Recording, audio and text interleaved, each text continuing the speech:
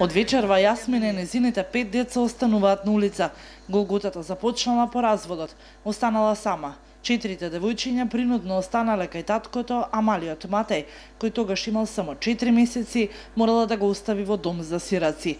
Немала ниту работа, ниту каде да се смести за да ги заштити децата. Против нивна волја да ги пратам на неколку дена додека да се снајдам каде да бидам, затоа што буквално сум на улица. Од денес, од 18 часот, јас сум на улица. До сега ми е платено, до 30 газдарицата ме чека да одам да си платам струја и вода и да си ги земам стварите. А лиштата. Децата ќе одат кај таткото, а ти? Ќе одат кај таткото најмалото и јас тука некаде. Тука некаде околу работата за утре са бајле да ни е поблиску детето на градинка ја на работа.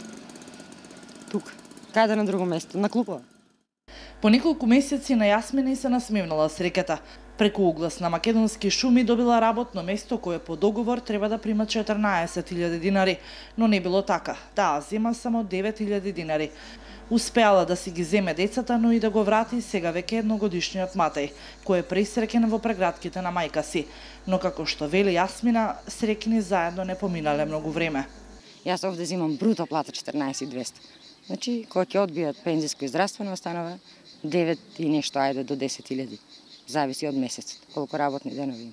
На почетокот првите 2-3 месеца отидовме да прашаме зошто така, зошто е таква нашата плата. Сите четворица што сме вработени во градинката. Отидовме да прашаме, ни рекоа или работете или одете си. Стравот кој сега го чувствува Јасмина е дека децата ќе плачат повторно по својата мајка. Зова не сака ни да размислува. Вечерва девојчињата повторно ќе заминат во Јосифово кај нивниот татко, а таа и Матеј, додека да се стемни, ќе бараат чаре.